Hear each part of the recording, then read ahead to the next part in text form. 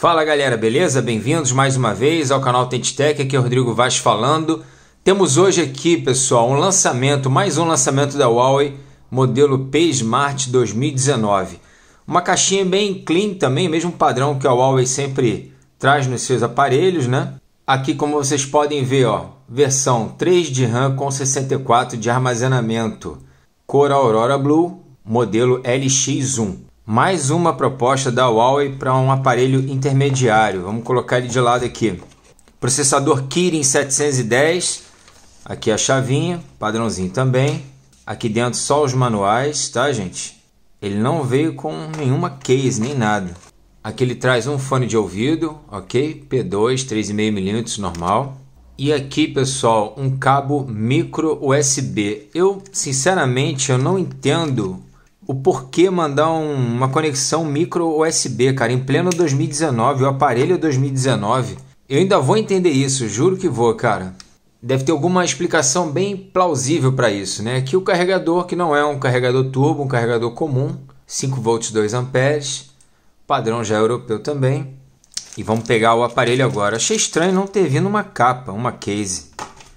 Realmente só os manuais aqui aqui dentro. Normalmente vem uma case, achei estranho isso. Nesse caso aqui não veio uma case.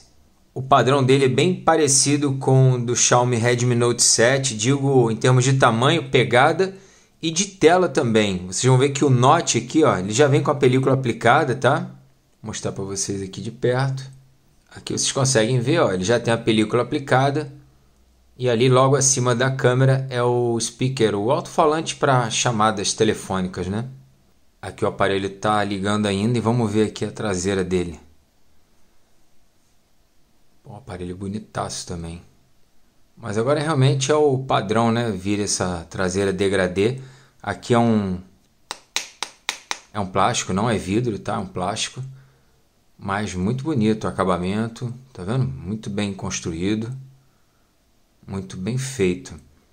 Aqui em cima nós temos só a gavetinha híbrida, tá, gente? Dois SIM cards ou um SIM card e um micro SD e o microfone redutor de ruídos. Aqui desse lado, volume mais e menos e botão power.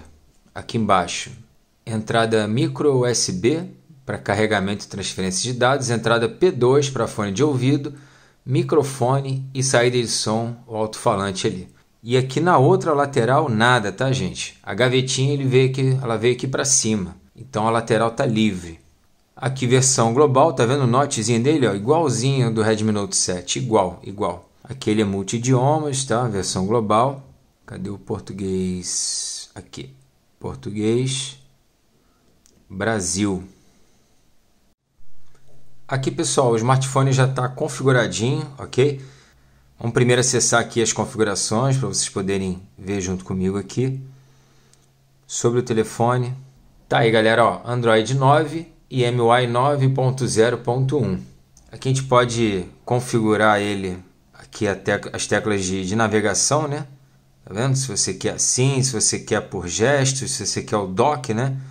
Vamos colocar por gestos que a gente elimina aquelas teclas virtuais ali da tela inicial, ó. Bem bonito, fica legal. Você pode também remover ali o entalhe, né? O, o note que ele chama de entalhe.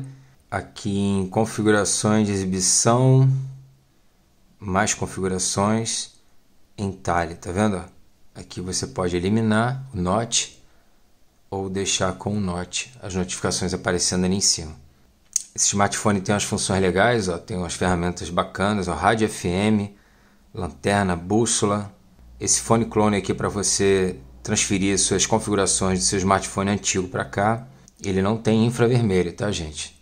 Processador é um processador intermediário que atende muito bem é o Kirin 710, conciliado com uma GPU da Mali G51, uma bateria de 3.400 mAh, uma bateria fininha, leve, aparelho bem leve, tem uma pegada excelente, tamanho muito bom, tá vendo?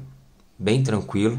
Uma câmera frontal de 16 megapixels com abertura f2.0 e a câmera dupla traseira com inteligência artificial flash dual tone um sensor de 13 megapixels com abertura f1.8 e outro sensor de 2 megapixels que é para fazer o efeito de fundo desfocado. Deixa eu dar um, um foco para vocês aqui, ó.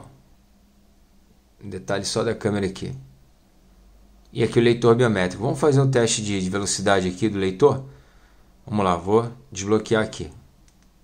Bem rápido, ó. Bem rápido. Clicou, desbloqueou. Agora desbloqueio facial aqui, vamos lá.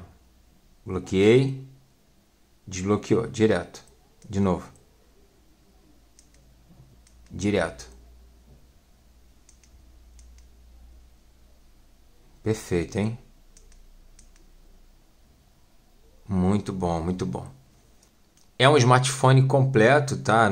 Sim, para uso cotidiano, dia a dia, vai te atender bem para tudo.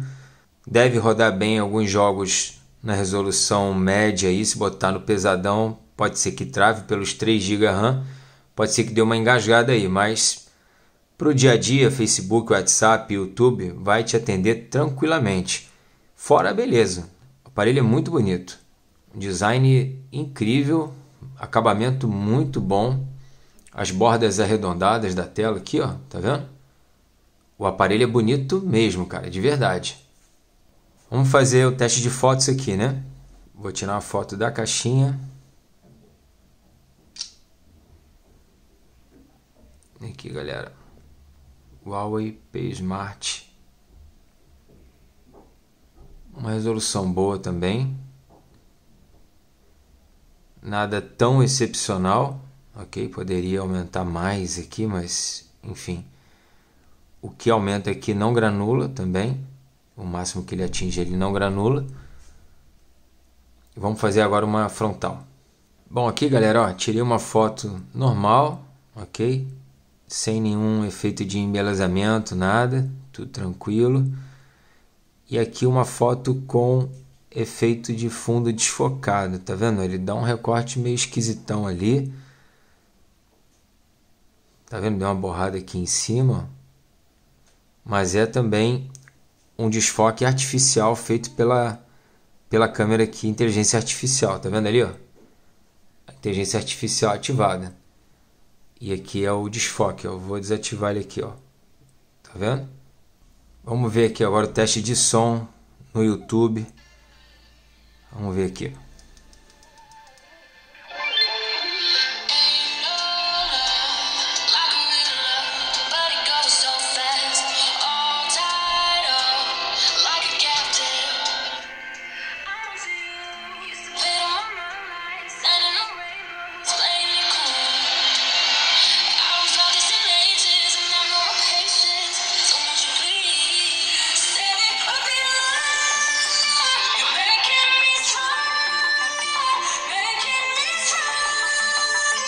Vamos ver aqui a experiência de, de imagem dele.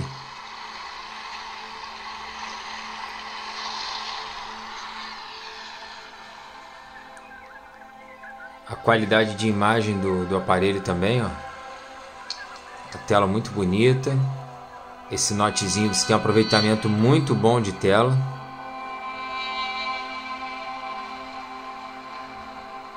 Para jogos bacana também esse aproveitamento, você consegue tem um rendimento maior aí de visibilidade, né, na verdade.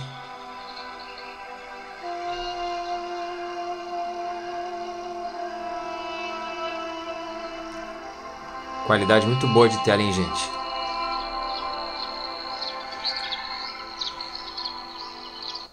Mas tá aí então para vocês, galera, mais uma boa opção de um intermediário. Não sei se eu poderia dizer um intermediário premium, mas um intermediário com boas especificações, boa qualidade de construção, de acabamento, de pegada, processador, câmeras razoáveis, não são das melhores, mas vão te atender para o basicão aí também. E foi isso, galera. Deixa aquele like no vídeo, se inscreve no canal se você não é inscrito. Caso você queira comprar esse smartphone, o que eu encontrar de links dele eu vou deixar aqui na descrição do vídeo para vocês. Tamo junto, fiquem todos com Deus, um forte abraço e até a próxima. Valeu!